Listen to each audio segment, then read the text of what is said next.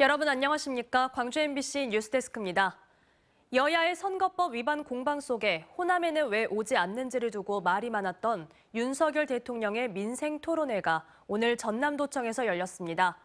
광주지검 근무 시절의 인연을 강조하면서 철도와 도로 건설과 같은 대형 사업의 추진을 약속했습니다. 광주만의 단독 토론회 개최를 요구했던 강기정 광주시장은 결국 참석하지 않았습니다. 김초롱 기자가 보도합니다. 전국을 순회하며 치르는 윤석열 대통령의 20번째 민생토론회가 전남도청에서 열렸습니다. 김영록 전남지사를 비롯해 100여 명이 참석한 열린 토론회에서 윤 대통령은 모두 발언을 통해 이순신 장군의 양무 호남 시무국가를 인용하며 호남의 중요성을 강조했습니다. 저는 선거 때부터 호남이 잘 돼야 대한민국이 잘 되는 것이라고 여러 차례 강조한 바 있습니다. 다른 지역의 토론회에서처럼 윤 대통령은 전남 지역 대형 사업들을 언급하며 지원을 약속했습니다. 광주 영암 초고속도로와 완도 강진 고속도로, 전라선 고속화의 SOC와 우주항공과 2차 전지 등의 미래 산업 등 전라남도가 추진하는 사업에 아낌없이 지원하겠다고 말했습니다. 윤 대통령은 광주지검을 떠날 당시를 회상하며 호남에 대한 애정이 있다고 밝혔습니다. 2005년에 제가 광주에서 떠날 때 에, 대표로 전별사를 했는데 에, 전별사를 다 읽지 못할 정도로 호남에 많은 정을 에, 가지고 있습니다. 한편 전라남도와의 공동 개최를 비판하며 민생 토론회 참석을 거부한 강기정 광주시장은 광주에서도 민생 토론회가 열릴 것으로 생각한다고 말했습니다. 강 시장은 간부 회의에서 광주에는 광주에, 전남에는 전남의 현안이 있다고 판단했다며 민생 토론회 참석 거부 이유를 설명했습니다. MBC 뉴스 김초롱입니다. 한편 최근 지지율이 상승하고 있는 조국 혁신당 조국 대표가 광주를 찾았습니다. 전남도청에서 민생 토론회를 연 윤석열 대통령을 정면으로 비판했고 5.18 왜곡 발언에도 도태우 후보 공천을 강행한 국민의힘과 한동훈 비대위원장에 대해서도 날을 세웠습니다. 김영찬 기자가 보도합니다. 조국 혁신당 조국 대표가 광주를 찾았습니다. 조국 대표는 윤석열 정부의 남은 임기 기간인 3년은 너무 길어 조기 종식에 앞장서겠다며 민주당과 연대하고 민주당보다 더 싸우겠다고 말했습니다. 어, 조국 혁신당이 나타나서 미, 그 윤석열 정권의 조기 종식을 정면으로 제기하고 그리고 그 조기 문, 말로만 제기하는 것이 아니라 실제 행동으로 음, 보여준다는 점 조국 대표는 전남 도청에서 열린 윤석열 대통령의 20번째 민생 토론회에 대해서는 전형적인 선거 운동이라며 심각한 정치적 중립 위반이라고 말했습니다. 5.18 왜곡 발언에도 국민의힘이 도태희 후보 공천을 강행한 것을 두고서는 윤석열 대통령과 한동훈 위원장은 전두환의 후예라는 사실을 자인했다고 목소리를 높였습니다. 국민의힘이 대구에 공천한 도태우 후보를 5.18 민주화 운동 등에 관한 특별법 위반 혐의로 즉각 고발하겠습니다. 조 대표는 그러면서 총선 승리를 위해 민주당과 연대는 하겠지만 민주당과의 합당은 하지 않을 것이라고 말했습니다. 조 대표는 검사장 직선제와 검찰 기획재정부 개혁안을 추진하려면 국회 안건조정위원회를 통과해야 하는데 그러기 위해선 복수의 개혁적인 정당이 필요하기 때문이라고 이유를 설명했습니다. 최근 호남에서 높아진 지지세를 반영하듯 창당 이후 두 번째로 광주 전남을 찾은 조 대표를 보기 위해 수많은 시민과 지지자들이 몰리기도 했습니다. 한편 한동훈 국민의힘 비상대책위원장이 내일 광주를 방문할 예정인 가운데 도태우 예비 후보의 공천에 대해 어떠한 입장을 낼지가 주목됩니다. MBC 뉴스 김영창입니다. 더불어민주당 경선이 막바지에 이르고 있는 가운데 광주에 이어 전남에서도 현역 교체 바람이 일고 있습니다. 전체 10개 선거구 가운데 현역 교체가 확정된 곳은 지금까지 4곳에 달합니다. 김양훈 기자가 보도합니다. 해남완도 진도에서는 박지원 전 국정원장이 현역인 윤재가 본을 누르고 본선 티켓을 땄습니다. 박 전 원장은 지역 발전과 총선 승리, 정권 교체에 힘을 다 함께 모으는 큰 정치의 새 시대 원년을 선포했습니다. 앞으로 제 영혼을 팔아서라도 지역 발전 그리고 민주당의 단결, 윤석열 김건희 검찰 정권 야무지게 투쟁하겠습니다. 고흥보성 장흥 강진도 정치 신인 문금주 후보가 김승남 의원을 제치고 1위를 차지했고 여수울에서는 조계원 민주당 중앙당 부대변인이 김혜재 의원을 꺾었습니다. 소병철 현역 의원이 불출마한 순천 광양 곡성 구례갑 경선에서는 손은모 변호사가 공천을 받았습니다. 지금까지 국회의원 교체가 확정된 곳은 전남 10개 선거구 가운데 4곳입니다. 이런 가운데 다른 선거구들도 현역 의원들이 안심할 수 없는 상황입니다. 영암 무안 신안 선거구는 3자 대결을 벌였는데 김태성 민주당 정책위 부위원장과 서삼석 의원이 결선 투표를 치르게 됐습니다. 변화와 혁신에 저 김태성이 선봉장에 서겠습니다. 시민이 주인되는 정치 저 김태성이 할 수 있습니다. 더불어민주당 영암무한 신안 후보로서 한 발을 더 내디뎠습니다. 어, 반드시 후보가 돼서 정권 심판과 지역 발전을 앞당기도록 최선의 노력을 다하겠습니다. 역시 3자 대결이 펼쳐졌던 나주 화순에서는 송금주 전 의원과 신적훈 현 의원이 오는 16일과 17일 결선 투표를 합니다. 단수 공천에서 2인 경선으로 변경된 순천 광양 곡성 구례을은 권양엽 후보와 소동영 의원이 경선을 벌입니다. 세 곳 모두 현역 의원이 경선에 포함돼 있는데 경선 결과에 따라 전남 현역 의원 교체 비율이 절반을 넘을 수도 있습니다. MBC 뉴스 김양훈입니다. 더불어민주당 전당대회 돈봉투 관련 혐의로 기소돼 구속 수감 중인 송영길 소나무당 대표가 오늘 광주 서구 갑 출마를 선언했습니다. 부인 남영신 씨가 대독한 출마 선언문에서 송 대표는 검찰 독재에 맞서 싸우기 위한 정권 교체 희망의 소나무를 광주에 심어달라며 지지를 호소했습니다. 또 윤석열 정부의 탄생을 막지 못하고 빌미를 준 문재인 정부와 자신을 비롯한 민주당 의원들이 광주 시민 앞에 사죄해야 한다며 당 대표였던 본인 역시 대선 패배의 책임을 감옥에서도 되새기며 반성하고 있다고 밝혔습니다. 4년 동안의 5.18 진상규명 조사 활동 결과를 담은 보고서가 공개된 가운데 법원 판결문보다 후퇴한 내용의 보고서 내용을 두고 비판이 쏟아지고 있습니다. 시민단체가 이런 수준의 보고서라면 차라리 없느니만 못하다며 폐기할 것을 주장하고 나서면서 반발이 확산하고 있습니다. 임지은 기자가 보도합니다. 5.18 진상규명 조사위원회가 공개한 결과 보고서 초안을 두고 지역사회에서 논란이 끊이지 않고 있습니다. 시민군들이 경찰서 무기고를 습격해 무장한 시점이 1980년 5월 21일 오전인지 오후인지 또 도청 앞 집단 발포 직전 장갑차에 깔려 숨진 계엄군이 시민군 장갑차에 깔렸는지 계엄군 장갑차에 깔렸는지를 두고 결론을 내지 못한 보고서의 내용이 비판 대상입니다. 이 두 가지 사안은 5.18 최대 비극이자 난제인 전남도청 앞 집단 발포 사건을 설명하기 위해서는 반드시 짚고 넘어가야 할 사안입니다. 시민단체들은 왜곡의 빌미를 제공한 결과 보고서가 나온 경위를 명백히 밝혀야 한다며 조사위를 비판했습니다.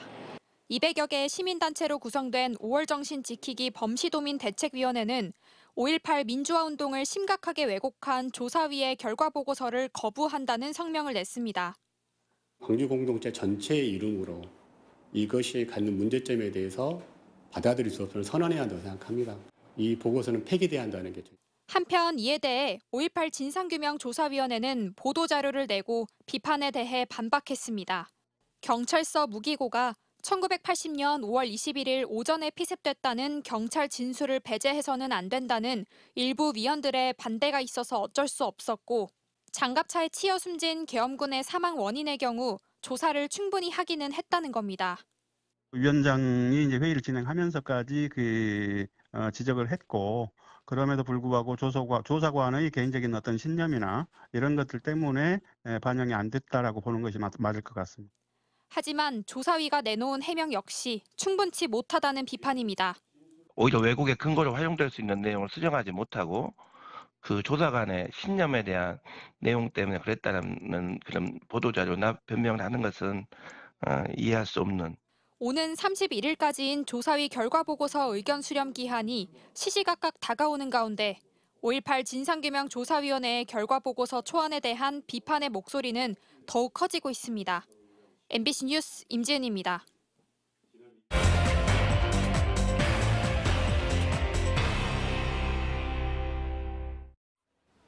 장시간 정전으로 장사를 하지 못하게 되면 상인들은 영업에 큰 피해를 입을 수밖에 없죠.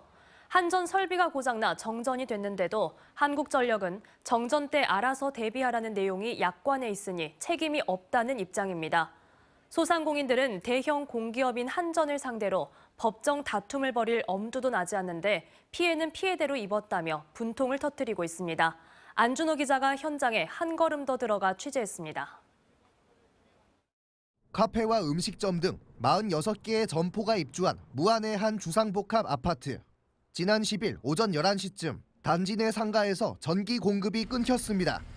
정전에 상가 앞 신호등도 작동하지 않으면서 경찰이 직접 교통 통제에 나서기도 했습니다. 한국전력이 정전의 원인으로 밝힌 것은 상가 내 변압기 고장, 변압기 교체 등 긴급 복구에 나섰지만 전력이 돌아온 건 오후 3시가 넘어서였습니다. 4시간 넘게 전기 공급이 끊기면서 상인들은 식재료가 상하거나 하루 매출이 반토막 나는 등 큰 피해를 입었습니다. 반죽 쳐놓은 것도 다 버려야 했고 저희뿐만 아니라 이 상가 전체가 손해가 많이 있었죠. 이쪽은 거의 다 배달이고 하니까요. 아, 배달도 아예 안 돼. 코스 자체도 아예 안 돼. 손님이 아예 뭔가 못 받아가지고 저희도 매출 완전 반토막 나가지고. 상인들은 한전에 피해 보상을 요청했지만 돌아온 답변은 배상 책임이 없다는 말뿐. 한전은 기본 공급 약관에 전기 공급이 중지될 경우 경제적 손실이 발생될 우려가 있는 고객은 비상용 자가 발전기 등 자체 보호 장치를 설치하라고 규정해둔 만큼 고객이 스스로 피해를 줄여야 한다는 입장입니다. 상인들은 분통이 터집니다. 입주 당시 제출해야 하는 전기 사용 신청서 하단에 이 같은 내용이 작은 글씨로 적혀 있었다지만 일일이 확인하기 어렵고 비상용 자가 발전기까지 구비해 써야 한다는 이렇다 할 안내는 받은 적도 없기 때문입니다.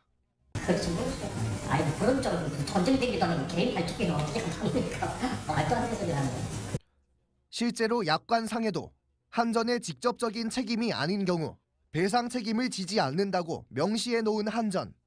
하지만 여기에 한전의 전기 설비 고장까지 포함하고 있어 평소 설비가 제대로 작동하도록 점검 등을 통해 관리할 책임에서도 벗어나 있습니다. 한전은 정전 피해 예방에 대한 사전 고지와 안내를 묻는 취재진의 인터뷰 요청을 거부하고 서면을 통해 관련 내용은 한전 홈페이지와 전기 사용 신청서에 고지하고 있으며 공장 등 대용량 고객을 대상으로 안내하고 있다고 답해왔습니다. MBC 뉴스 안준호입니다.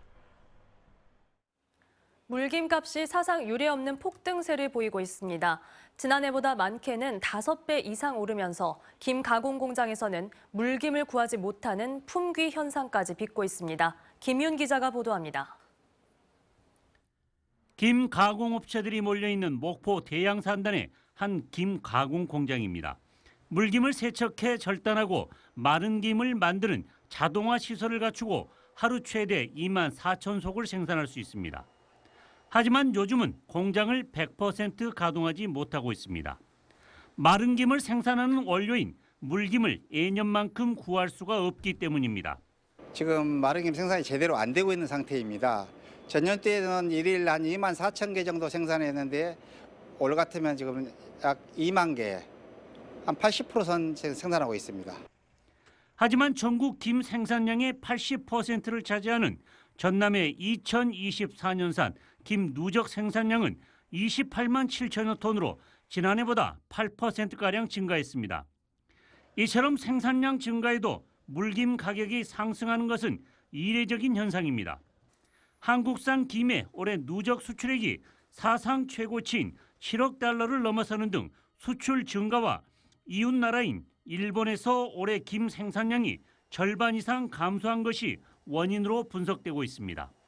결론적으로 말씀드리면 세계적인 김 소비 확대로 수출 시장은 커지고 있으나 일본 등 작황 부진으로 수급이 불안정하면서 수요 공급 원칙에 따른 김값 상승 요인이 아닌가 판단됩니다. 수출 증가와 일본의 김 흉작이라는 이중 효과 덕에 물김 120kg 한 망은 지난해보다 두배 이상 뛴 30만 원을 훌쩍 넘어서는 등 귀하신 물건이 되고 있습니다. MBC 뉴스 김윤입니다.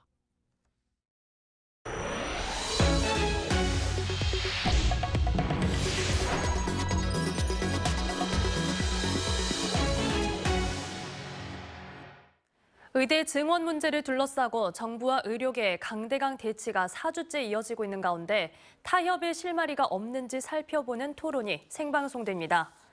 광주 MBC는 잠시 뒤 9시부터 시사 토론 프로그램인 시사 용광로 시간에 정부와 의료계의 대치 상황을 진단하고 해결 방안을 모색하는 한편 지역의 필수 의료를 강화할 정책에 대해 이야기 나눕니다.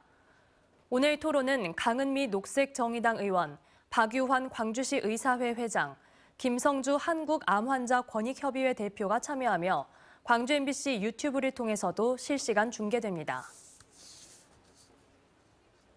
광주 광산 을 출마를 선언한 이낙연 새로운 미래 공동대표가 오늘 예비 후보로 등록하고 본격적인 선거 운동에 들어갔습니다.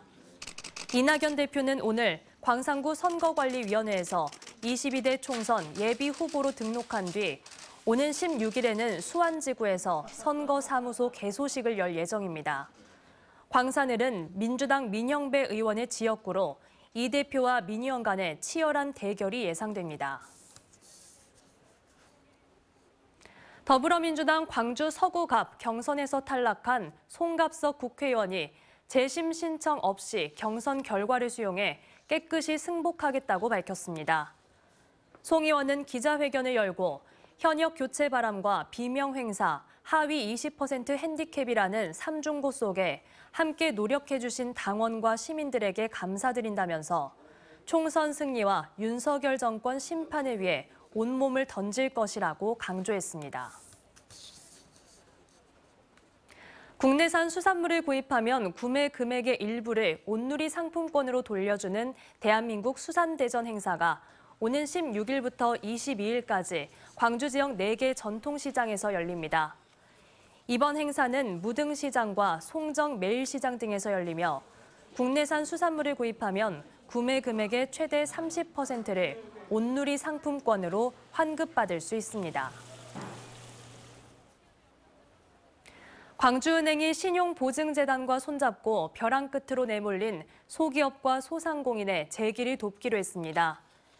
광주은행은 소상공인과 소기업의 재기를 지원하기 위해 전남신용보증재단에 49억 원을 특별 출연해 862억 원의 특례 보증 대출을 공급하기로 했습니다.